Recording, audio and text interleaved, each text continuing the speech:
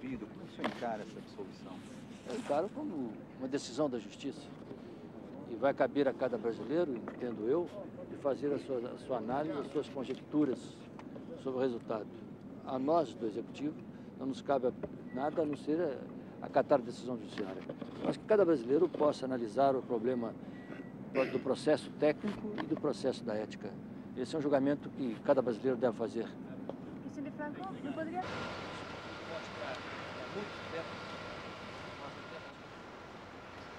Dizer que o Brasil encarou com muita responsabilidade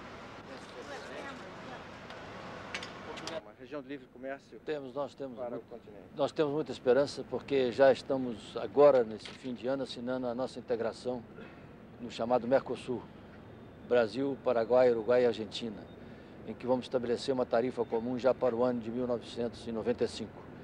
E nós devemos firmar os acordos finais agora na cidade de Ouro Preto, no estado de Minas Gerais. Portanto, nós vemos com muito positivo essa integração e não temos nada em relação, por exemplo, ao acordo do NAFTA. O Brasil olha com muita, com muita atenção também ao acordo do NAFTA, mas ele busca, sobretudo, o nosso país tem buscado e vai buscar uma zona de livre comércio na América do Sul, dentro dos próximos oito anos. Yes, sir. Uh,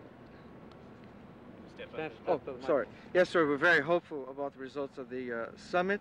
Uh, Brazil will sign with the other countries of Mercosur uh, at the end of this year uh, another agreement. We'll have our common external tariff in 1995. We are going to sign our final agreements to that effect in Ouro Preto in the state of Minas Gerais in Brazil in a few days. We see uh, as very positive all these efforts for integration. We follow up closely what's happening in NAFTA, and we hope that in about eight years, yes, we'll have a free trade zone in the uh, whole hemisphere. Obrigado. Thank you.